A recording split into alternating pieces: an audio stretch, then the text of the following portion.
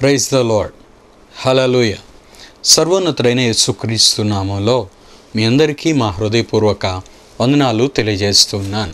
అభిషేక స్వరం అనే మా కార్యక్రమంకు మరొకసారి మిమ్మల్ని ప్రేమపూర్వకంగా ఆహ్వానిస్తూ ఉన్నాను. ప్రభునందు ప్రియులారా మీ అందరూ బాగున్నారా?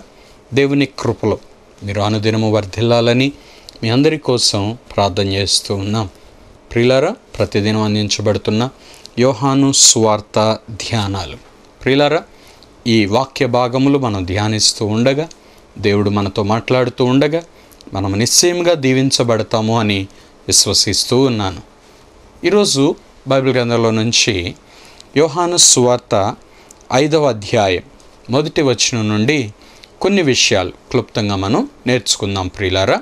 అటు తర్వాత యూదుల పండుగ ఒకటి వచ్చాను గనక యేసు ఎరుషలేమునకు వెళ్ళాను. ప్రియులరా యూదులకు కొన్ని ఆచారాలు ఉన్నాయి పండుగ సమయాల్లో వారు ఎరుషలేమునకు రావలసి ఉంది. ముఖ్యంగా పురుషులు. పస్కా పండుగప్పుడు యేసుక్రీస్తు ప్రభు ఎరుషలేమునకు వెళ్ళినట్లుగా మందిరానికి వెళ్ళినట్లుగా యోహాను వార్త రెండో అధ్యాయం పదమూడవ వచనంలో మనం చదువుతాం. ఇప్పుడు రెండవసారి మరల యూదుల పండగ ఒకటి వచ్చింది. ఇప్పుడు యేసు ప్రభు మరల ఎరుషులేమునకు వచ్చాడు. ఎక్కడి నుంచి వచ్చాడు ఇప్పుడు? గలలయ నుంచి ఎరుషులేమునకు యేసు ప్రభు వచ్చాడు. ఆ గలలయలో కానాలో ఉన్నప్పుడు కపెనహోము నుండి ప్రధాని వచ్చి తన కుమారుడి విషయమై ప్రభును వేడుకోవటం ప్రభువు ఆ కుమారుని బాగు చేయటం జరిగింది. ఇప్పుడు యేసుక్రీస్తు ప్రభువు మరలా ఎరుషలేమునకు ఆయన తిరిగి వస్తాం మనం చూస్తాం. కారణం యూదులకు వచ్చిన ఒక పండుగ. పండుగ దినమున మందిరమునకు వెళ్ళి దేవుని యొక్క సన్నిధిలో మందిరములో దేవుణ్ణి ఆరాధించటం ఆనాటి యూదుల యొక్క ప్రత్యేకమైన ఒక కార్యక్రమం. రెండవ వచనం. ఎరుషలేములో గొర్రెల ద్వారము దగ్గర హెబ్రీ భాషలో బెతస్దా అనబడిన ఒక కోనేరు కలదు. ప్రియులారా ఎరుషలేం పట్టణంలో రకరకాలైన ద్వారాలు ఉన్నాయి. వాటిలో ఒక ప్రత్యేకమైన ద్వారం గొర్రెల ద్వారం. అంటే మందిరానికి వచ్చే గొర్రెలు మందిరములో వధించబడే గొర్రెలు. ఆ గొర్రెల్ని ఓ ప్రత్యేకమైన దారిలో తీసుకొని వస్తూ ఉండేవారు ఆనాటి కాలంలో యూదులు. మందిరంలో ఇప్పుడు గొర్రెలు వధించాలి లేక తమ పాప పరిహారార్థం నిమిత్తమై గొర్రె పిల్లని అర్పించాలి బలిగా అనుకున్నవారు ఈ గొర్రెల ద్వారము గుండా గొర్రెలను తీసుకొని వచ్చేవారు. యేసుక్రీస్తు ప్రభు ఈ పండుగలో ఎరుషులేం పట్టణమునకు వచ్చినప్పుడు గొర్రెల ద్వారము దగ్గర హెబ్రి భాషలో బెతజ్ద అనబడిన ఒక కోనేరు కలదు. దానికి ఐదు మంటపములు కలవు. ఎరుషలేములోనికి వచ్చేవారు ఆ కోనేటి దగ్గర కూడా వెళ్ళటం జరుగుతూ ఉంటుంది ప్రియుల ఈ కోనేటికి దగ్గర దాని పేరు బెతెస్తా. దానికి ఐదు మంటపాలు ఉన్నాయి గొర్రెల ద్వారము దగ్గర కోనేరు ఉంది. ఈ కోనేటికి ఐదు మంటపాలు ఉన్నాయి ప్రియులారా. ఐదు మంటపాలు అంటే ఐదు దారులు అని మనం అర్థం చేసుకోవచ్చు. ఈ కోనేటిలో దిగటానికి ఐదు రకాలైన ప్రదేశాల నుండి కోనేటిలో దిగటానికి ఐదు రకాల దారులు ఉన్నాయి. ఆయా సమయములకు దేవదూత కొనేటిలో దిగి నీళ్ళు కదలించుట కలదు. ఈ కోనేటికున్న ఓ ప్రత్యేకత ఏంటి అంటే దేవుని దూత ఈ కోనేటిలోనికి దిగి రావటం జరుగుతుంది. ఖచ్చితంగా దేవుని దూత అయితే దిగి రావటం జరుగుతుంది. ఒక రోజులో ఎన్నిసార్లు వస్తారో తెలియదు ఏ సమయంలో వస్తారో తెలియదు మొత్తానికి దేవుని దూత ఆయా సమయములకు అనే మాట ఇక్కడ మనకు కనబడుతుంది. అంటే ఒక పర్టికులర్ టైం లేదు. దేవుడు ఎప్పుడు కూడా ప్రిలారా సమయము కోసం వేచి ఉండడు కానీ సమయాన్ని తనకు అనుగుణంగా మార్చుకొని దేవుడు ప్రతిస్పందిస్తూ ఉంటాడు. ఆపత్కాలంలో మనం మొరపెట్టామనుకో ఇప్పుడు నా టైం కాదు తర్వాత వస్తా అని ఆగడు. ప్రియారా సమయం మనకు ఉపయోగపడాలి కానీ సమయానికి మనం ఉపయోగపడటం కాదు. సమయం దేవుడు మనల్ని దర్శించుట కొరకే కానీ లేక దేవుణ్ణి ఆపటానికో దేవుణ్ణి మనకు దూరం చేయటానికో సమయం వాడబడకూడదు. దీన్ని మనం జ్ఞాపకం చేసుకోవాలి. మంచి సమయమో చెడ్డ సమయం అని. చెడ్డ సమయం అని దేవుణ్ణి దూరం చేసుకునే సమయాలు ఎప్పుడు మనకు ఉండకూడదు ప్రియులారు. ఆయా సమయములకు దేవుని దూత కొనేటిలోనికి దిగి వచ్చి నీరు కదిలించటం జరుగుతూ ఉంటుంది. పరలోకము నుండి దేవుని యొక్క స్వస్థత శక్తి ఈ దేవుని దూత మోసుకొని వస్తారు. వచ్చి ఆ నీటిని కదిలించినప్పుడు ఆ కోనేటిలో ఉన్న నీరు మొత్తం దేవుని యొక్క స్వస్థపరిచే శక్తితో నింపబడిపోతుంది అనమాట ఆ కోనేటిలో ఉన్న నీరు మొత్తం కూడా ఆ దేవుని యొక్క స్వస్థత శక్తితో నింపబడిపోతుంది. ఏ వ్యక్తి అయినా ఈ ఐదు మంటపాలలో ఏ ప్రక్క నుండి వచ్చైనా ఆ నీటిని కానీ అలా తాకితే ఆ నీళ్ళలో ఉన్న స్వస్థత శక్తి మొత్తం ఈ వ్యక్తి శరీరములోనికి వచ్చేస్తుంది. అప్పుడు ఆ వ్యక్తి ఎటువంటి రోగము కలిగిన వాడైనా అక్కడ ఆ వ్యక్తి బాగుపడతాడు స్వస్థత పొందుతాడు ప్రియులార. ఇది ఆ కోనేటిలో నిత్యము జరిగే ఒక కార్యం. ఆయా సమయములకు దేవుని దోత కొనేటిలో దిగి నీరు కదలించుట కలదు అనే మాట మనం ఇక్కడ చూస్తున్నాం. నీరు కదలింపబడిన పిమ్మట మొదట ఎవడు దిగునో? ప్రిలరా దేవుడు ఈ కోనేటిలో స్వస్థపరిచే కృపనిచ్చాడు కానీ ఒక అర్హతను దేవుడు పెట్టాడు. ఏమిటి అర్హత అంటే ఎవరు మొదట దిగునో? అదే అర్హత. ప్రిలరా ఆ దేవదూత వచ్చి నీరు కదిలించటం జరిగినప్పుడు స్వస్థత శక్తి దిగి వస్తుంది. మొదట దిగిన వ్యక్తికి మాత్రమే ఆ కృప దొరుకుతుంది. ఆ స్వస్థత కలుగుతుంది. సెకండ్ వచ్చిన థర్డ్ వచ్చిన కొద్ది సమయం ఆగి వచ్చిన ఇంకా మిగిలిన ఎవరికి ఆ కృప దొరకదు. ప్రిలరా మన దేవుడు ఎంత ప్రేమ కలిగిన దేవుడు అంటే ఆనాటి కాలంలో అయితే స్వస్థత అలాగూ ఆ కోనేటి నీటి ద్వారా జరుగుతూ వచ్చింది. ఈనాటి కాలంలో అయితే మనం ఎక్కడున్నా ప్రార్థన చేసుకుంటే ప్రభా నన్ను ముట్టయ్యా అనగానే ప్రభు యొక్క హస్తం వచ్చి మనల్ని తాకటం స్వస్థపరచడం జరుగుతుంది. లేక దైవజనులు సంఘ పెద్దలు లేక విశ్వాసులు నూనె రాసి ప్రార్థించినప్పుడు దేవుని యొక్క స్వస్థ శక్తి దిగి రావటం జరుగుతుంది.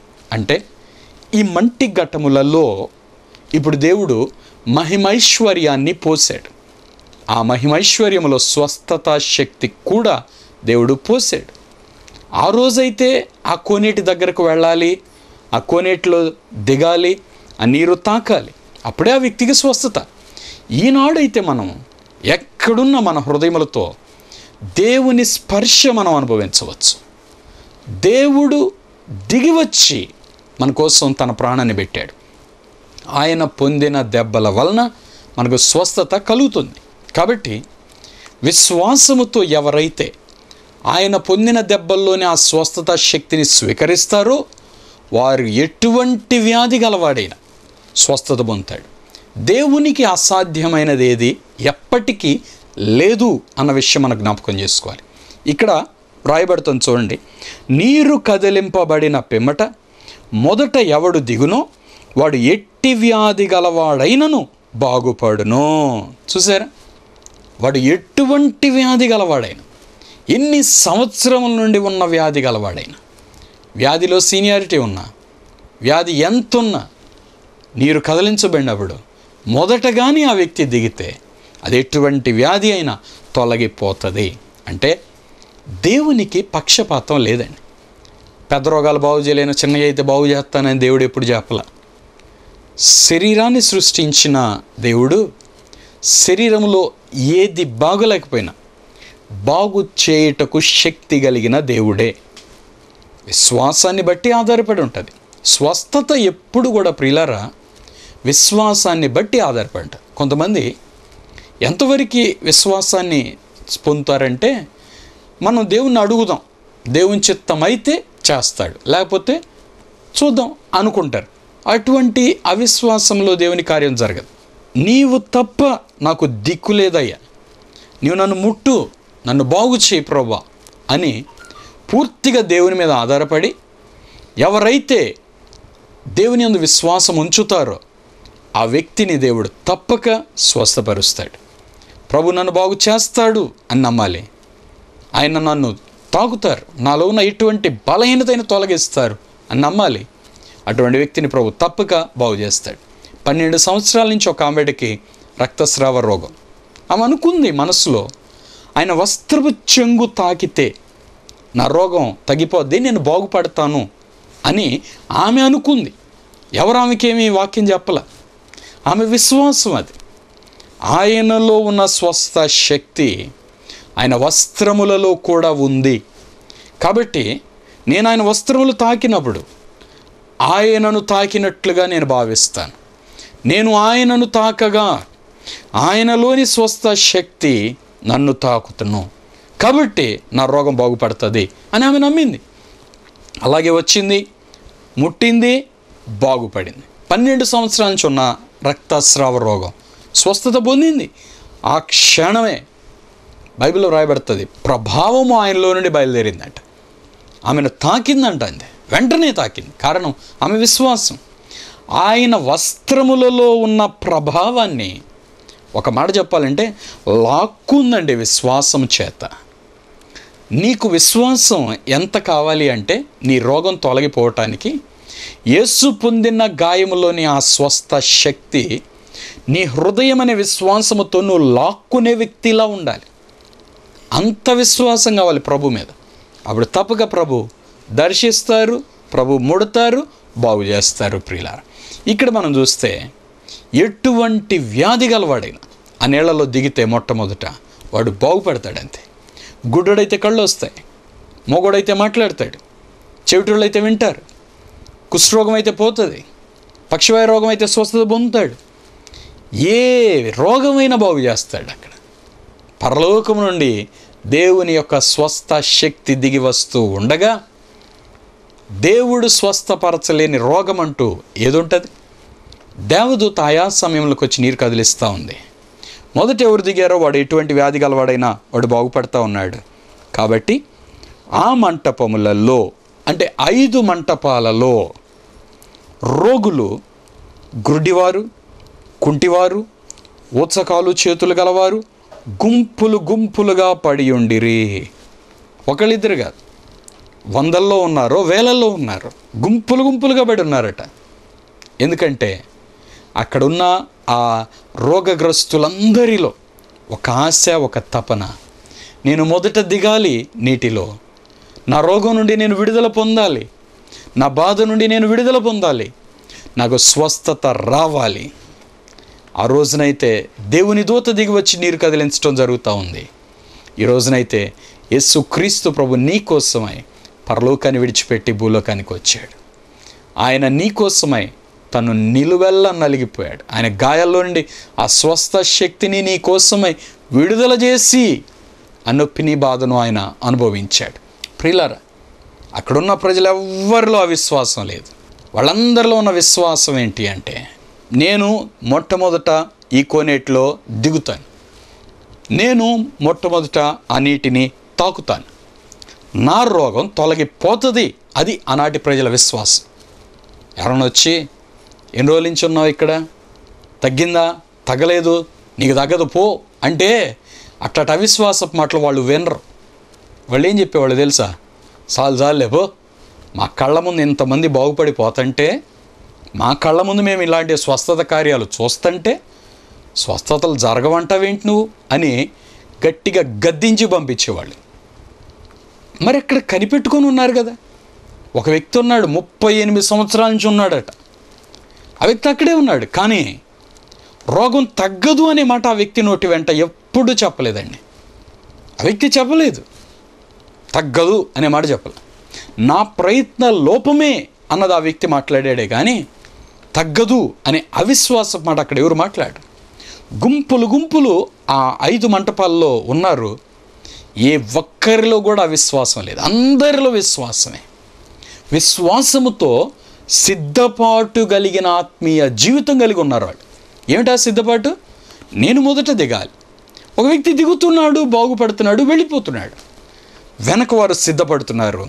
ఈసారి నేను ముందు దిగాలి అనే సిద్ధపాటు. ప్రియుల ఆత్మీయ జీవితంలో ఇటువంటి పురికొల్పు కావాలండి. ఇటువంటి పట్టుదల కావాలి. అంతేగాని జరగదు. అవ్వదు. ఇలాంటి అవిశ్వాస మాటలు అస్సలు రానేకూడదు. అగ్ని బాణములు వేస్తాడట సాతాన్. అవిశ్వాసపు అగ్ని బాణాలు.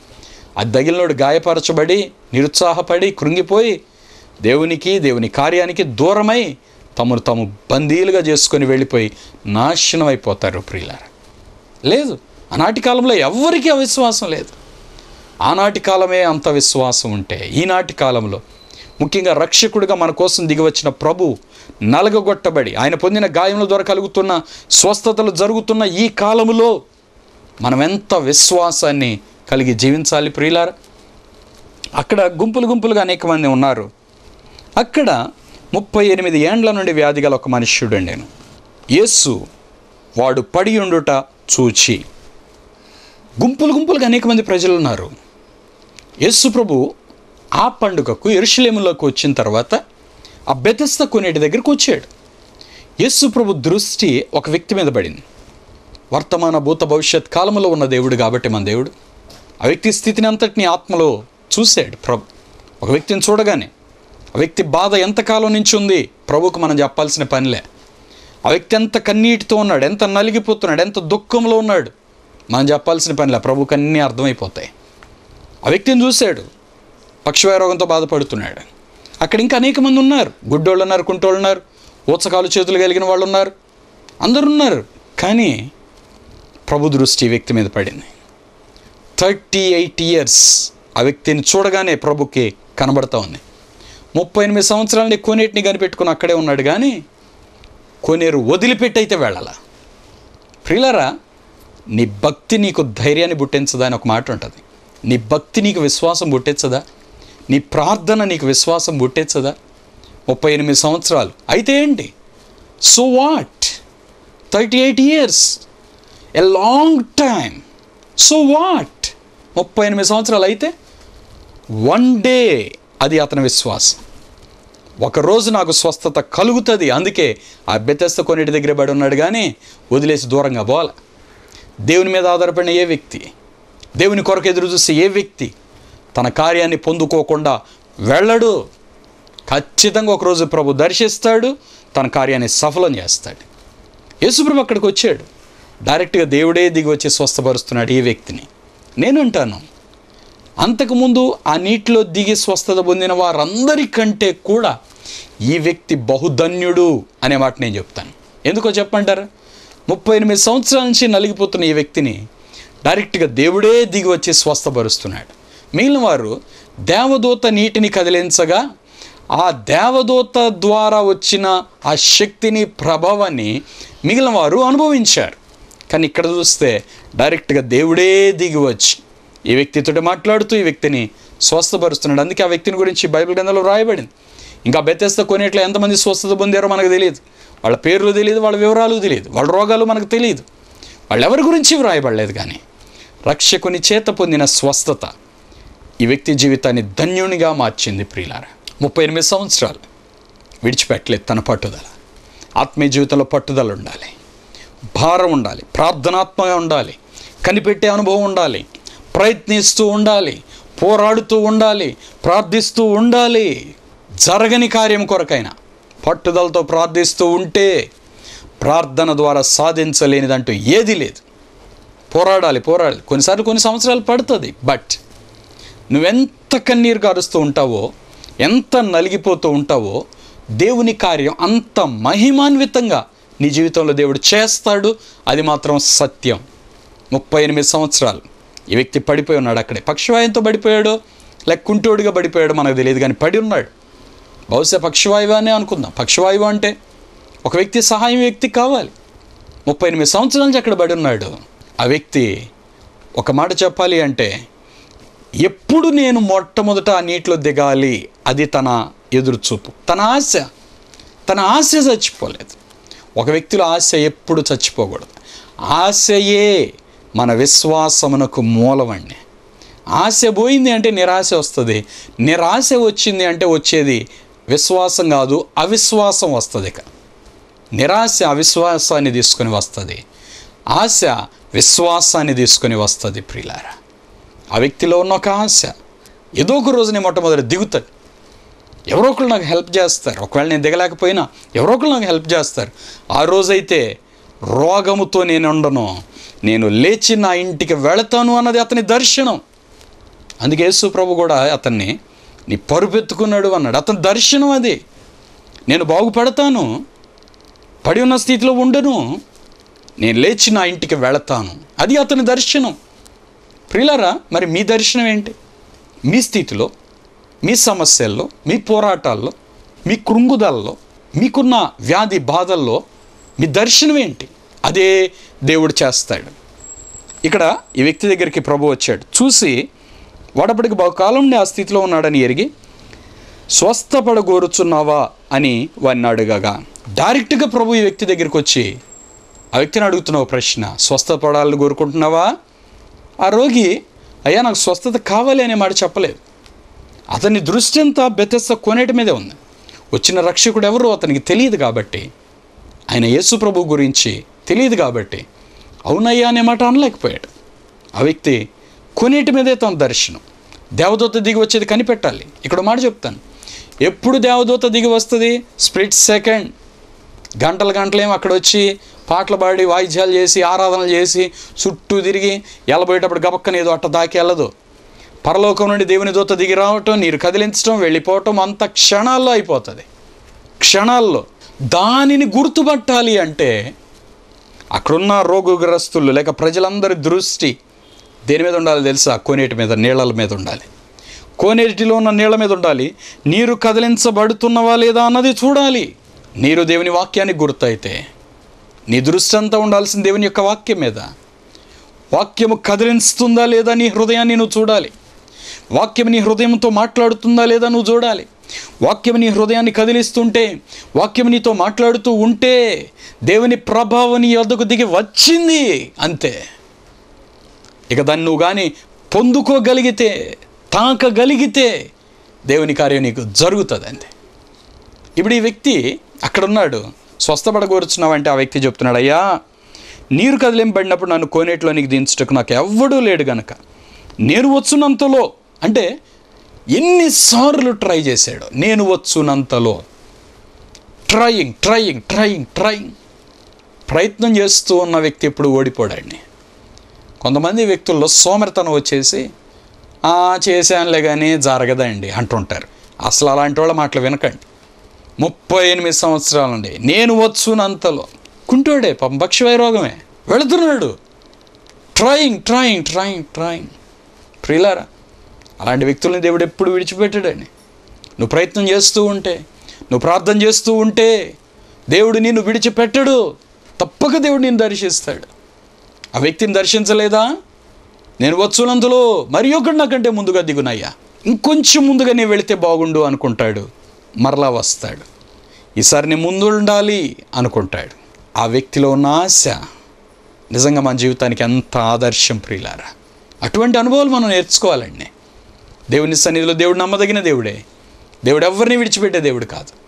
ఎవరిని నెట్టేసే దేవుడు కాదు.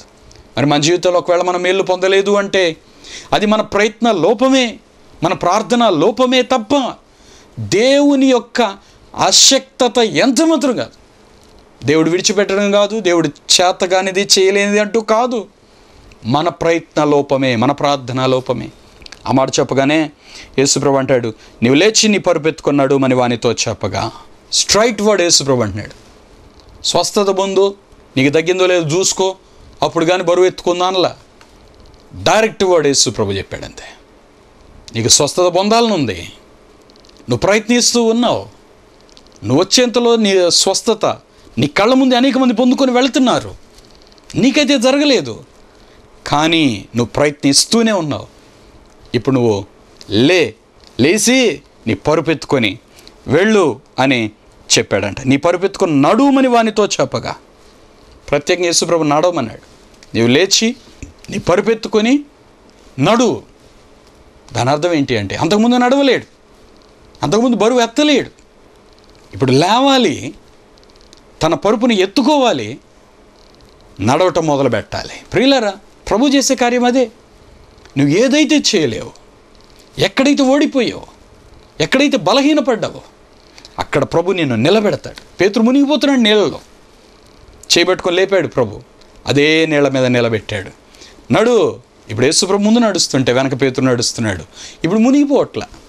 నీరు మునగట్ల కాళ్ళు కూడా మునగట్ల. మామూలు నేల మీద నడిచినట్టుగా నీటి మీద నడవటం ప్రారంభిస్తున్నాడు పేతురు. కారణం ముందు రక్షకుడు నడుస్తున్నాడు. ప్రిలారా ప్రభుని జీవితంలో నిన్ను నిలబెడతాడు బలపరుస్తాడు సహాయం చేస్తాడు. ఆ వ్యక్తి లేచి నీ పరువెత్తుకున్నాడు అని చెప్పగానే యేసు ప్రభు వెంటనే వాడు ఏం చెప్పాలి? అయ్యా నేనేమో ఇట బాధపడుతున్నాను నేను ఎట్ట పరుపెత్తుకుంటానయ్యా శరీర సంబంధమైన వ్యక్తి అలా ఆలోచిస్తాడు. ఇక్కడ రాయబెడుతున్నమాట వెంటనే వాడు స్వస్థతనుంది.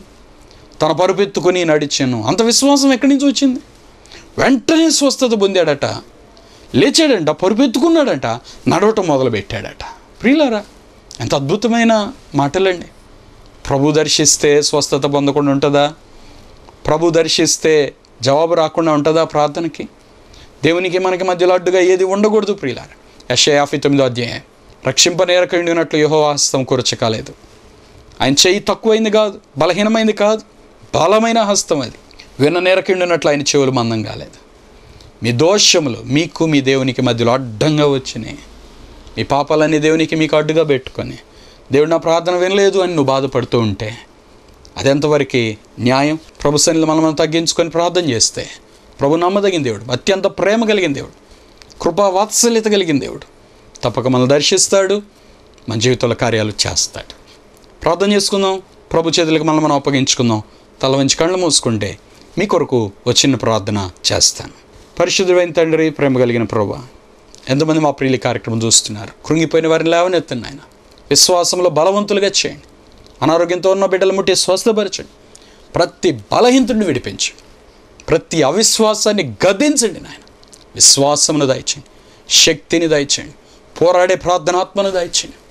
ప్రభా మా యుద్ధోపకరణములు శరీర సంబంధమైనవి కావు కానీ దేవుని ఎదుట దుర్గములను పడద్రోయజేయాలనేంత శక్తి గలవి అని బైబిల్లో వ్రాయబడినట్లుగా మాకున్న శక్తిని మేము గుర్తించి గ్రహించి ఈ శనిలో ప్రార్థనతో పోరాడుతూ ముందుకు సాగే అనుభవాలు మాకు దాయిచ్చి. ఏ విషయంలో బిడ్డలు ఓడిపోతున్నారు ఏ విషయంలో నలిగిపోతున్నారు అవన్నీ తొలగించండి బిడ్డలకు కావాల్సిన కార్యాన్ని జరిగించండి సమాధాన సంతోషంలో దయచేయండి వారు ఆయన తట్టు చూడగా వారికి వెలుగు కలిగినాను.